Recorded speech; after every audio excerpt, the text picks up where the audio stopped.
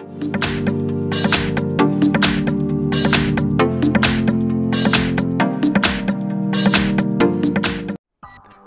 today I will show you how to install applications from unknown sources on your Samsung Galaxy A9. First, let's unlock the phone by pressing the power button and swiping up.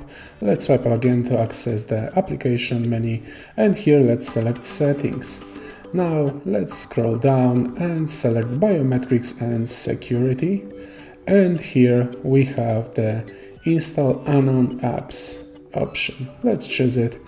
And here we have a list of places where unknown applications can be installed from. So, for example, if I have some unknown application that wasn't in the Play Store or from Samsung's official website, I can put it, for example, in my files and allow the phone to install it from here simply by clicking this.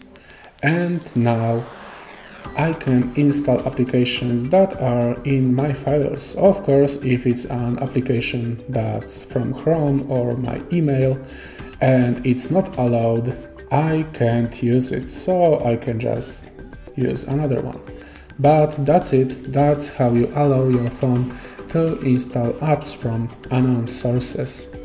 I really hope this tutorial helped you. If it did, please leave a like and subscribe.